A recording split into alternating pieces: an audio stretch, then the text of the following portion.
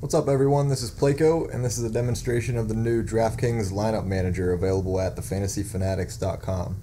So we've already used the weekly cheat sheet to build our custom stat model for the week. We've generated custom player rankings, researched our guys, figured out who we want to use for the week, marked them with the yellow and green targets here, and now we're on the lineup generator page.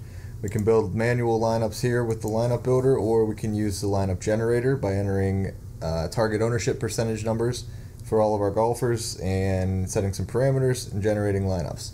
Now we could stop here and use the DraftKings Format CSV button to download a file that we can go uh, upload at DraftKings um, and enter you know one contest at a time. So it's a really powerful tool if we want to mass enter one of the GPPs.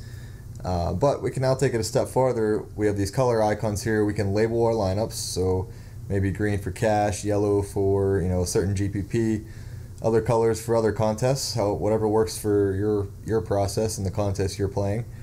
And we can now jump over to DraftKings.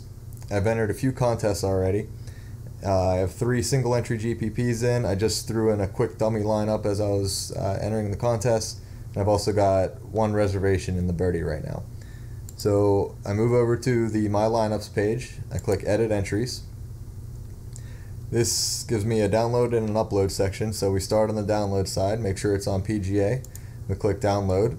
That downloads a file to your machine called dkentries.csv.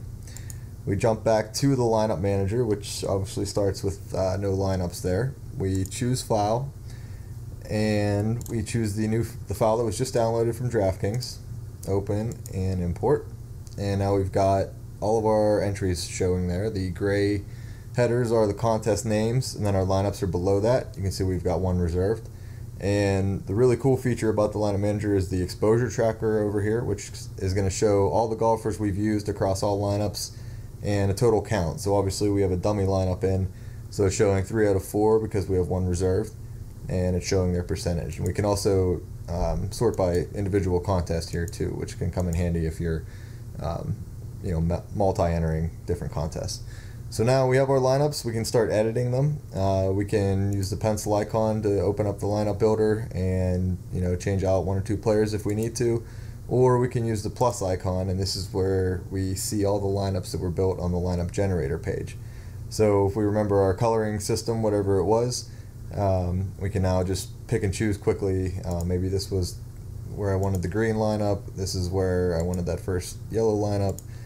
Uh, maybe this one I wanted the red lineup, and this reserved entry was my blue lineup.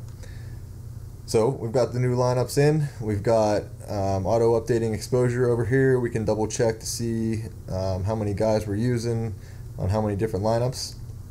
And if we're happy with the results, we can generate a new CSV file, which saves a file down to your computer.